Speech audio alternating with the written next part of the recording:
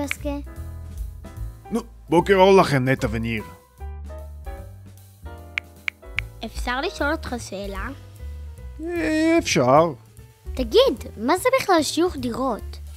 מה, אתם לא מכירים את החוברת האדומה? של הכדורגל? בטח מכירים.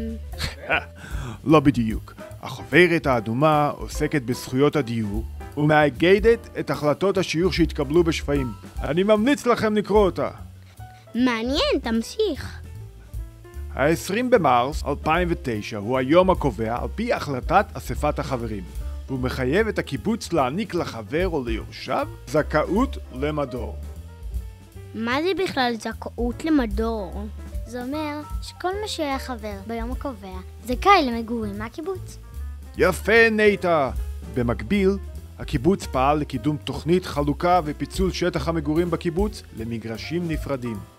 אה, פרצלציה. תגיד פרצלציה. רגע, ומה עם מי שהתקבל לחברות אחרי היום הקובע? יופי. אני רואה שאתם קולטים מהר. המזכירות תפעל במרץ לפריצת לוח 2 לטובת הקצאת מגרשים נוספים. מגניב! מה זה לוח שתיים? טבלה מחייבת הקובעת את מגבלת יחידות הדיור בכל קיבוץ וקיבוץ על פי תוכנית מתאר ארצית. זה אומר שהקיבוץ לא יכול להקצות יחידות דיור מעבר למה שנקבע בטבלה. למה שלא נבנה לגובה?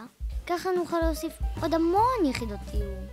לוח 2 קובע מכסה של מספר יחידות הדיור המותרות, וזה לא כל כך משנה איך או איפה בונים אותם.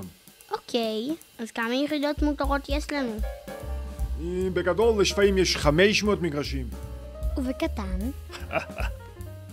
בקטן זה הולך ככה, מתוך ה-500, עשרה מגרשים שייכים לשמורת השרון.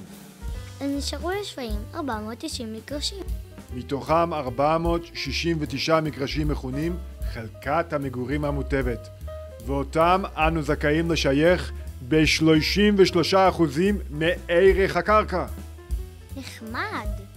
ומה עם 21 המגרשים הנוספים? המגרשים הללו נקראים מגרשים מחוץ לחלקת המגורים, אבל עליהם נידרש לשלם מחיר מלא, והם יהיו חלק מהמגרשים לשיוך עתידי. אז מה עושים עכשיו? או, עכשיו חברי הצוות יזכרו את ההחלטות שכבר התקבלו בשפעים, ימפו את כל המגרשים שנשארו לבנייה ואת כל הזכאים שטרם בנו, יקבעו הליך בחירת מגרשים, יביאו אותו לאישור האספה ויסבירו על שיטות השיוך, קנייני או אגודה, ושפונק נצא לדרך. אבל שמעתי שחלופת האגודה כבר לא כל כך רלוונטית עבור שפיים. איפה את מכירה את חלופת האגודה? חברה שלי מקיבוץ יקום סיפרה לי. קיבוץ יקום, נו שוין. רגע, אבל זה אומר שכל חבר יצטרך לשלם הרבה כסף. מה נעשה? זה נכון בחור צעיר. דבר ראשון, הכוונה לשלב את זה ביחד עם מודל פדיון זכויות הוותק. זה מאוד יקל על החברים הוותיקים. דבר שני, נשב עם כל משפחה ונבין בדיוק כמה צריך לשלם ואיך עושים את זה. יש כבר כמה בנקים לטובת העניין. זה צעד משמעותי מאוד השיוך הזה. אל תדאגו חמודים שלי, הרי אתם מכירים את רוח שפיים, נכון? נעבור את זה ביחד.